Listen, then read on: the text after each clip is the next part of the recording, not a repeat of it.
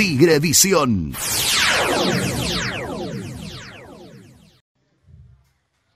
Buenas tardes, damos comienzo a la conferencia de prensa de Diego Martínez.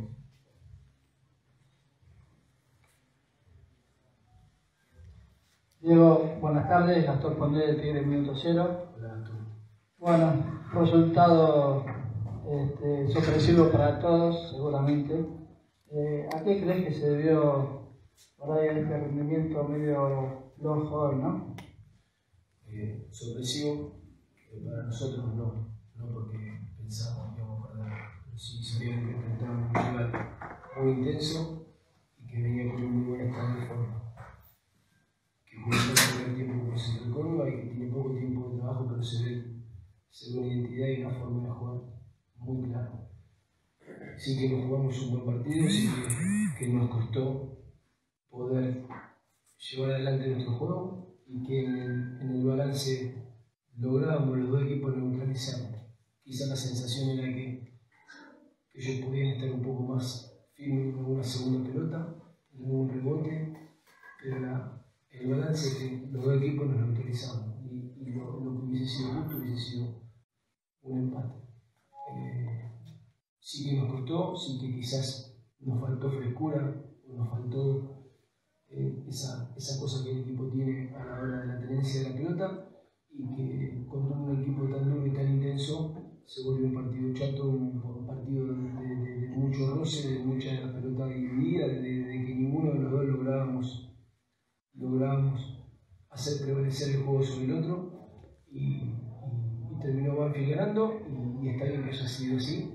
Eh, porque nos fue a buscar como nos fue a buscar nosotros y lo conseguimos. Diego, buenas tardes. Luciano García de ¿Qué pasa web? Si uno mira los cuatro partidos que ya hasta acá tiene en la Liga Profesional, ve que en los cuatro empezó en desventaja. O sea, le metieron el primer gol. Eh, preguntarte si esto te preocupa eh, y a qué se lo atribuís. Y por otro lado, si tenés el diagnóstico preliminar de, de Seba Prediker, que salió lesionado. Que es muy parejo todo y que el equipo ha dado muestras de, de más allá de algún partido de, de entrar en desventaja, de ponerlo vuelta, de equilibrarlo desde el juego. Y, y te, tendremos que seguir trabajando de la misma manera como lo vienen haciendo los muchachos para, evitar de que eso suceda y poder estar en partido como lo estamos después de, de la desventaja o como lo dimos vuelta en algún otro partido. Y, buscar mejorar, mejorar es momento de, de poder pensar lo más frío posible, de tratar de, de tener la, la, cabeza lo más clara posible a la hora de, de tomar las mejores decisiones y, ni antes éramos el equipo que, que, no perdía nunca, ni ahora tampoco somos un equipo que, no juega bien. Entonces trataremos de corregir y de, y de pensar ya a partir del martes en San Lorenzo en, en poder volver a, a, conseguir un buen resultado en una cancha difícil. Y Sebastián no, todavía no tenemos el diagnóstico. Roma para Vestuario. Bueno, justamente me sacaste la, la pregunta sobre Prediger. Se vio un equipo distinto, sí, con la salida de Prediger.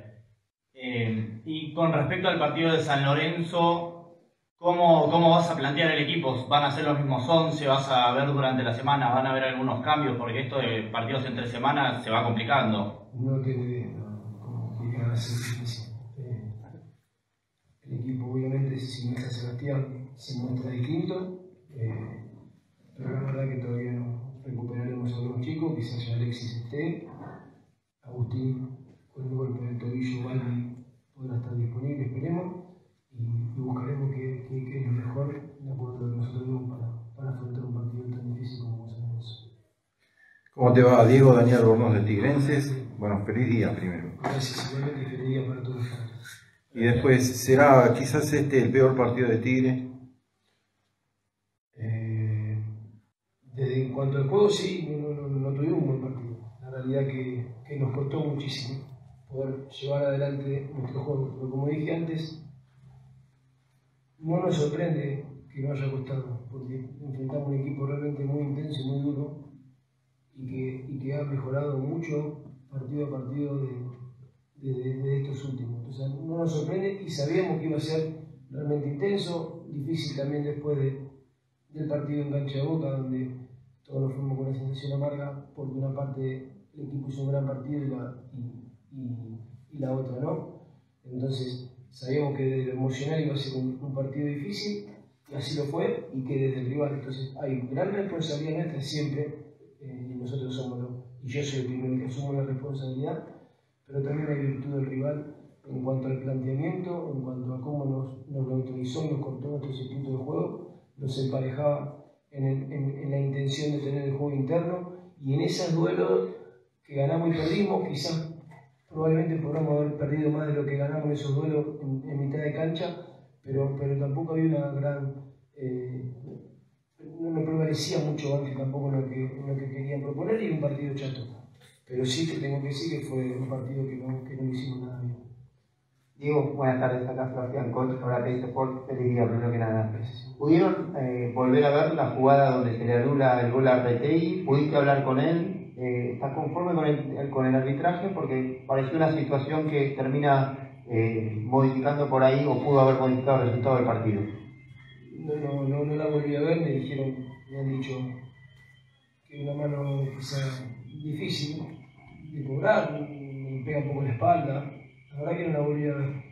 El arbitraje no, no, no, no. o sea, si, si fue y se equivocaron, es una lástima porque, porque tenían las herramientas para no poder equivocarse y entender a veces cómo, cómo es una, una, jugada tan rápida donde el, donde Mateo va a buscar anticipar al arquero, pero no, del arbitraje no hablo y no la volví a ver.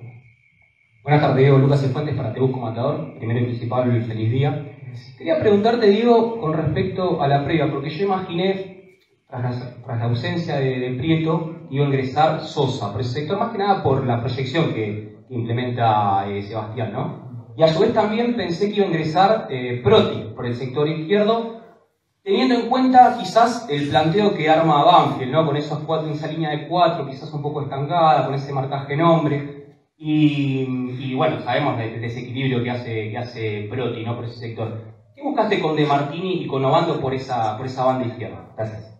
¿Cómo te va, Lucas? Sí, en realidad Banfield inicia de una manera, pero te ataca de otra. Te ataca con Abecasi y te ataca con Coronel los dos al mismo tiempo. Te llega Ursi, te llega, Enrique, te llega Lopo y te llega González. Entonces González arranca en sector derecho y es de mentira porque te entra a jugar a los espacios entre líneas y es un enganche más junto a Galopo.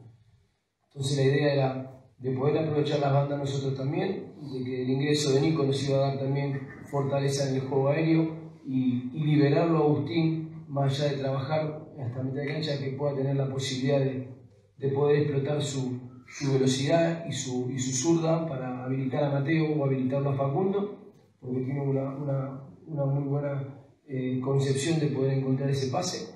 Eh, y la idea de, de, Nico era buscar esa fortaleza y ese equilibrio defensivo, tanto en juego, porque, porque Banfield en transiciones era muy rápido, y poder liberarlo más a Luca Blondelli, era como una línea de tres en movimiento, donde Luca Blondelli iba a poder estar más liberado y quedar las transiciones defensivas con De Martini, con Luciati y con Cabrera junto a Prediger.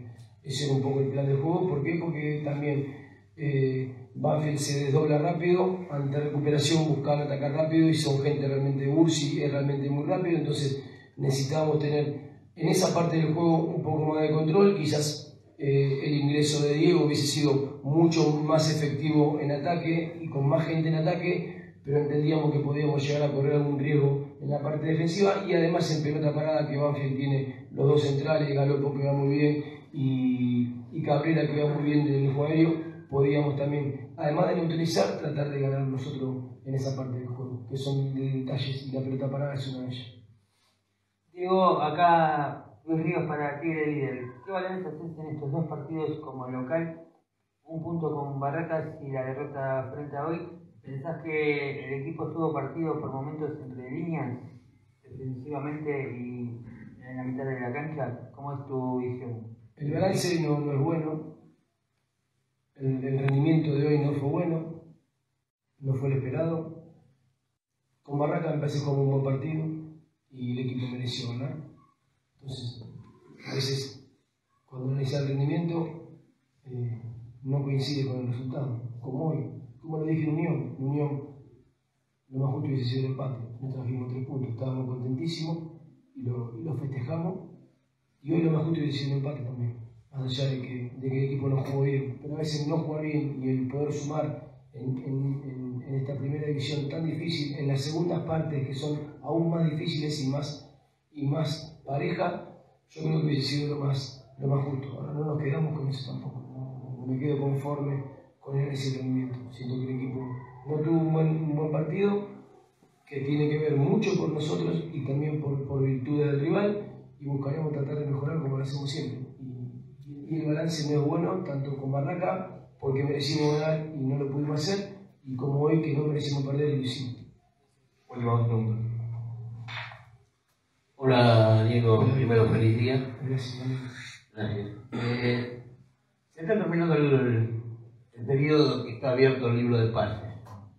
¿Tenés en vista alguno, ya que estamos teniendo una seguidilla de partidos y tenemos varios jugadores tocados, lesionados? Principalmente lo tenemos cinco en este momento, ¿no? Sí, tenemos, no, Agustín. tenemos la lesión lamentable de Seba, el equipo de Juan, Agustín también.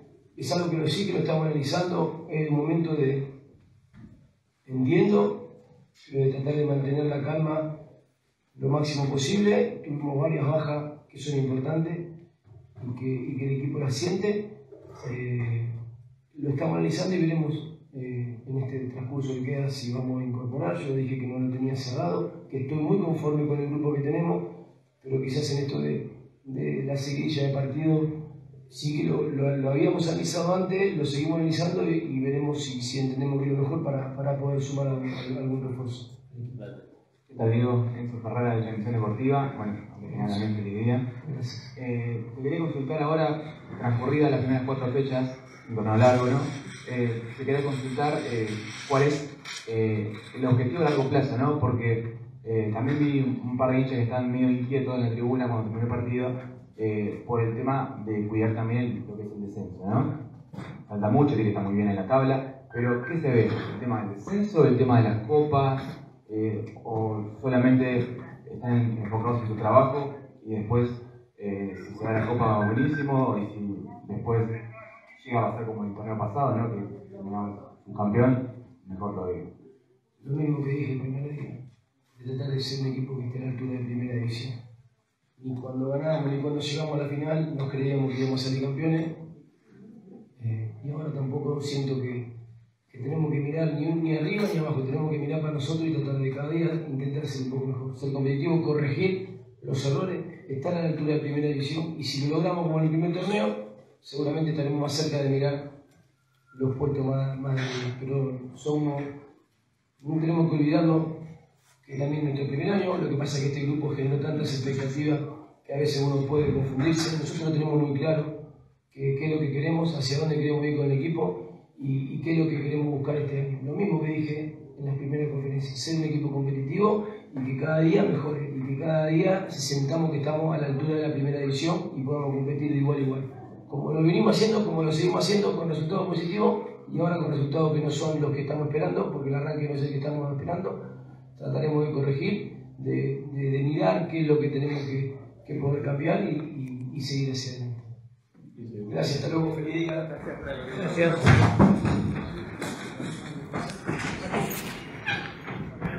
La mejor información de Tigre en la web la tenés solo en Tigrevisión Edición Digital. La web del matador. Audios, videos, fotos y toda la info que buscas. www.tigrevision.com.ar Esta temporada, sentí Tigre, sentí Tigrevisión.